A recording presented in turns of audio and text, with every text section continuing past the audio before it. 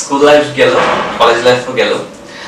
অনেক কিছু আমরা শিখলাম, কিন্তু একটা জিনিস ঠিকভাবে শিখতে পারলাম না, সেটা হচ্ছে ব্যাকরণ।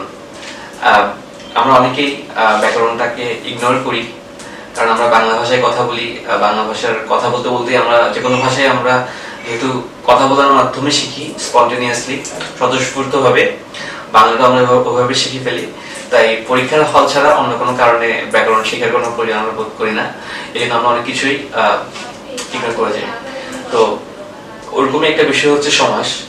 এটা না শেখার, সমাজটা না শেখার অনেকগুলো কারণের মাঝে একটা হচ্ছে মানুষ থেকে আমরা শুনে আসি, বড় ভাই বোনদের শুনে আসি। সমাজটা অনেক কঠিন। তাছাড়া আমরা বইটা খুলেও প্রথমে না পড়ে জাস্ট বাইরে থেকে দেখে আমাদের মনে হয় যে এটা খুব ইজিবিজি এবং খুবই মানে কঠিন মনে হয় অনেকে আবার অনেকে অনেক সহজ মনে হয়, যারা পড়ে তাদের অবশ্যই সহজ মনে হবে।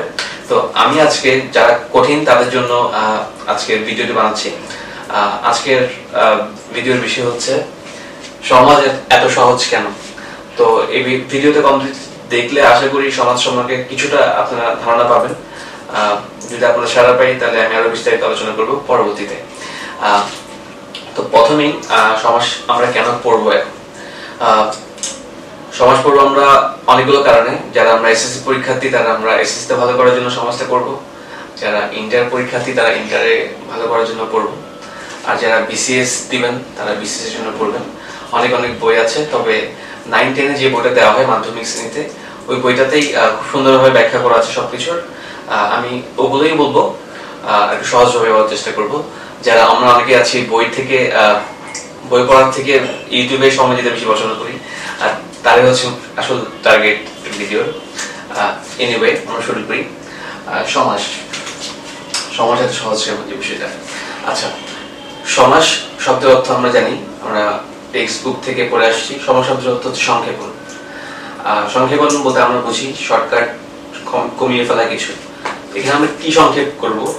আমরা যদি শব্দের সাথে শব্দে মানে বর্ণের সাথে যদি বর্ণ মিলন করাতাম তাহলে আমরা সেটাকে বলতাম সন্ধি সন্ধি আর সমাসের মাঝে পার্থক্য হচ্ছে এটাই। সমাসে আমরা পদের সাথে পদের মিল ঘটাবো। যেমন যদি আমরা বলি বাবা ও মা, এখানে যে ও শব্দটা আছে, সেটা বাদ দিয়ে যদি আমরা বাবা মা বলি, তাহলে সেটা হবে কি? সমাস। তো এখন সমাস বিভিন্ন প্রকার আছে। আমাদেরকে বের করতে হবে কোন সমাস, আমাদের যদি একটা সমাস দেওয়া থাকে, আমরা আমাদের বুঝতে হবে ওখান থেকে যেটা কোন সমাস। সমাসের এই যে আমি বললাম বাবা ও মা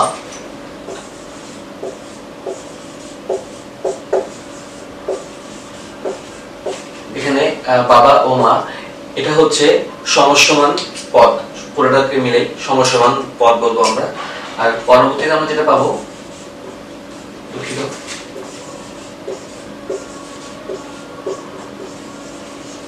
বাবা, মা সেটা হচ্ছে সমস্ত পদ।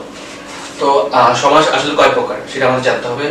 বাংলা ব্যাকরণে সাধারণত সমাজকে ছয় প্রকার ধরা হয়। ছয় প্রকারের মধ্যে প্রথমে আছে দ্বন্দ্ব সমাস। এই যে বাবা মার কথা বললাম, এটা হচ্ছে দ্বন্দ্ব সমাস। যখন সমস্যমান পদের মানে আমি যেটা বললাম, প্রথম পদটাকে আমরা বলছি সমস্যমান পদ। আমরা এই ব্যাকরণ সমাসের এই ভিডিওটা যদি কমপ্লিট বুঝতে হয়, কিছু কিছু সাথে আমাদের পরিচিত হতে হবে এবং সমাসটা যদি বুঝতে হয়, অবশ্যই আমাদের জানা প্রয়োজন। আমরা সমাস হওয়ার পরে সমাস হওয়ার পর নিষ্পন্ন যে পদটা সে সেটাকে আমরা বলব সমস্ত পদ আর আগের যা ছিল, তাকে আমরা বলব সমস্যমান পদ তো এই সমস্যমান পদের প্রথমটাকে আমরা বলব পূর্বপদ এবং পরেরটাকে পরপদ বা উত্তর পদ বলব। তো যদি সমস্যমান পদের দুইটি সমানভাবে গুরুত্ব পায় যেমন বাবা মা এখানে দুটি গুরুত্ব পেয়েছে, প্রাধান্য পেয়েছে, তাহলে এটা হবে দ্বন্দ্ব সমাস। সমাস ছয় প্রকার। প্রথম প্রকারটি হচ্ছে দ্বন্দ্ব সমাস। আর দ্বন্দ্ব সমাসের মধ্যে যেমন আমরা যদি বলি ভাত ও মাছ, ভাত মাছ হচ্ছে আমাদের সমস্ত পদটা আর দ্বন্দ্ব সমাস হচ্ছে। দ্বন্দ্ব সমাস শেখার পর আমরা শিখব হচ্ছে তৎপুরুষ সমাস।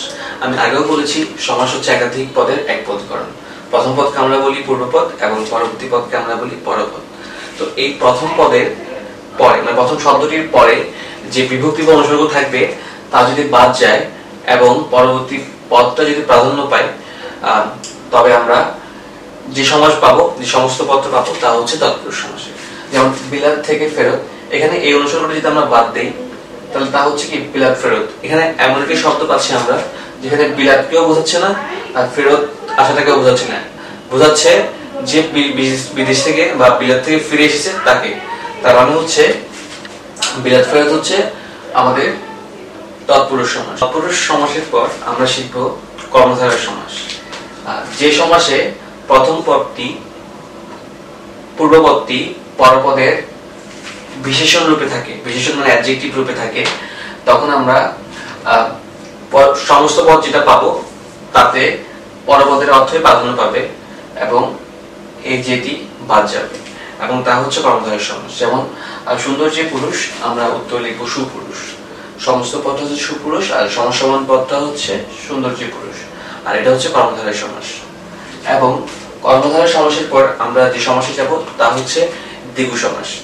দ্বিগু সমাসে সাধারণত সমষ্টি এবং সংখ্যাবাচক শব্দকে বোঝায় এবং এখানেও পরবর্তী পদ যেটা পরপদ সেটা প্রাধান্য পায়। যেমন আমরা যদি বলি শত অব্দের সমাহার, তাহলে আমরা এটা ছিল আমাদের সমস্যমান পদ। আর সমস্ত পদটি হবে আমাদের শতাব্দী। তাহলে শতাব্দী সমাহার, শতাব্দী, এটা হচ্ছে কি? দ্বিগু সমাস যখন সংখ্যাবাচক কোনো শব্দ থাকবে, যেমন চার রাস্তা মোড় চৌরাস্তা, এই ধরনের শব্দ, এই ধরনের সমাস, সবগুলি হচ্ছে কি দ্বিগু সমাস। দ্বিগু সমাসের পর আমরা যেটা শিখব তা হচ্ছে বহুব্রীহি সমাস। অন্য সকল সমাস থেকে এটা একটু ব্যতিক্রম এবং ইন্টারেস্টিং এই কারণে।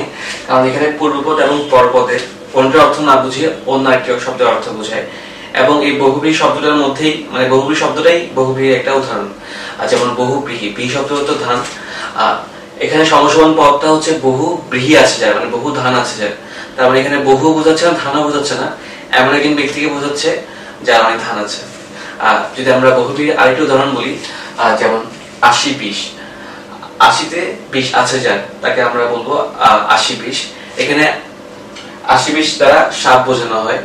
মানে সাপ, আমরা বিশকেও বোঝাচ্ছি না এবং আশিকেও বোঝাচ্ছি না, আমরা বোঝাচ্ছি আশি বিশ মানে সাপকে। তার মানে এটাও এটা বহুব্রীহি সমাস।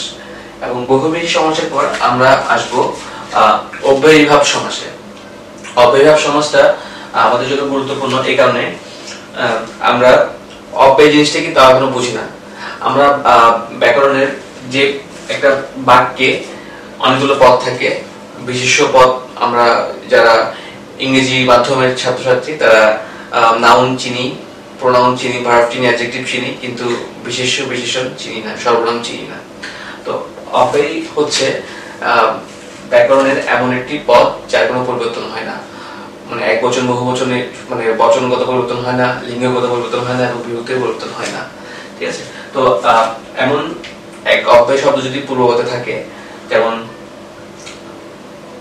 ভিক্ষার অভাব, হচ্ছে দুর্ভিক্ষ, ভিক্ষার অভাব, এখানে এই অব্যয় শব্দটি যদি প্রাধান্য পায় পূর্বগতে থাকে এবং প্রাধান্য পায় তবে আমরা সেটাকে বলব সমাস এর- এরকম আরও অনেক উদাহরণ আছে। এবং প্রতিটি সমাসের আলাদা আলাদা ব্যাখ্যা আর উদাহরণ আমি পরবর্তী ভিডিওতে আশা করি আপলোড করব, যদি আপনারা ধন্যবাদ সাথে থাকার জন্য। পরবর্তী ভিডিও, ভিডিওতে আশা আশা করি আমরা আরও বিস্তারিত জানব। ভিডিওটি কেন ভালো লাগল না এবং কেন ভালো লাগল, এসব বিষয়ে ফিডব্যাক ফিডব্যাক দিবেন। কমেন্ট করবেন অফকোর্স আর আরও কিছু জানতে এবং পরবর্তী আমাদের পথ চলে আমাদের সাথে থাকার জন্য। সাবস্ক্রাইব অবশ্যই করবেন। আর ধন্যবাদ।